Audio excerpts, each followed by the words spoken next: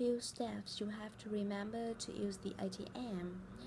Firstly, you have to insert your card and choose the language, then input your password. You will see many uh, options appear on the screen, such as withdraw, transfer the money, or check the account. You just can um, choose one activity at a time. When you finish, the machine will ask you if you want to do um, any more activities. You just um, press the no button next to the screen and the card will come out.